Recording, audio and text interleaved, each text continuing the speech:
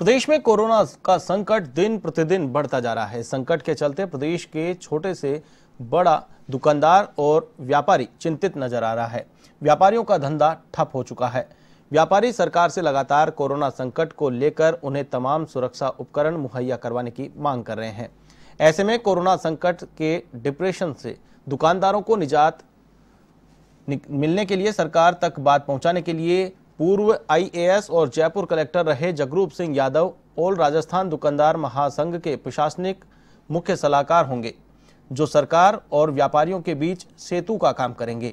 व्यापारियों को किसी भी तरह की परेशानी का सामना नहीं करना पड़े। इसके लिए जगरूप सिंह सरकार के समक्ष अपने सुझाव भी प्रस्तुत करेंगे।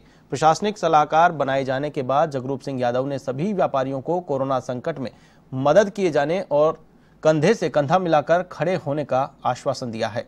वहीं ओल राजस्थान दुकानदार महासंघ के प्रदेशाध्यक्ष किशोर कुमार टांक ने जगरूप सिंह यादव को शुभकामनाएँ दी।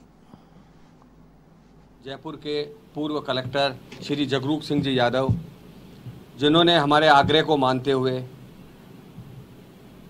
दुकानदार महासंघ में आप लोगों को लिए प्रशासनिक मुख्य सलाहकार का पद स्वीकार कर लिया है और वह छोटे बड़े सभी दुकानदारों का, सभी व्यापारियों का इस कोरोना संकट में डिप्रेशन में गए हुए व्यापारियों को डिप्रेशन से उभारने में, उनकी जो भी समस्याएँ हैं, उनको सुलझाने में आप हमारा को पूरा सहयोग करेंगे। आप इस समय में डिप्रेशन में ना आए। जैसा कि आप जानते हैं कि चौथा फ़ेज़ भी शुरू होने वाला है।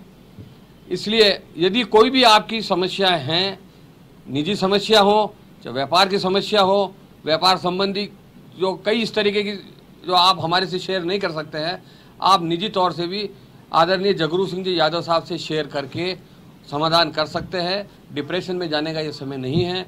व्यापारियों के चाहिए।